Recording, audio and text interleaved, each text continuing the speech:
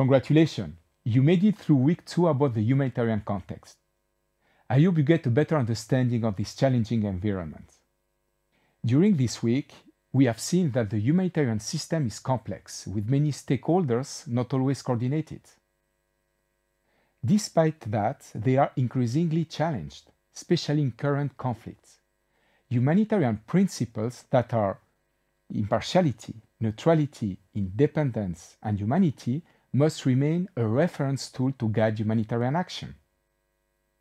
During this week, we have also seen that in a humanitarian context, despite urgent needs, you should not rush to the implementation of activities. Such behavior is likely to result in inadequate projects to address critical needs. You should ensure that adequate time and resources are committed to assess and analyze the needs and formulate a strategy in order to design effective and relevant projects for the beneficiaries. The project management cycle is a sequence of logic steps to help you to maximize the benefits of project for the beneficiaries.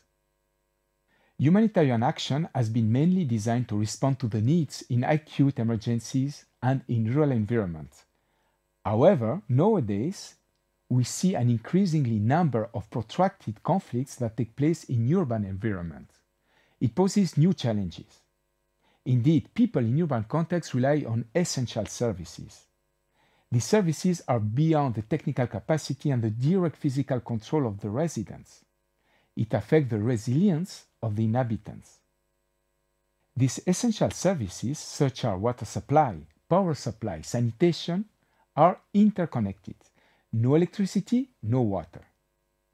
This interconnectivity between essential services needs to be understood and properly integrated into humanitarian action in order to avoid counterproductive effects. Urban services require three elements in order to function people, hardware, and consumables. Disruption to an essential service occurs when the functions of any of the critical people, hardware, or consumables are compromised. These three components can be affected by direct, indirect, and cumulative impacts. Direct impacts such as damages to infrastructure from explosive munitions attracts the most attention but field experience suggests that the cumulative impact is the most destructive and the most difficult to recover from. Humanitarian response in urban areas is a major challenge of today's humanitarian crisis. Further information on these critical issues can be found in this ICRC publication.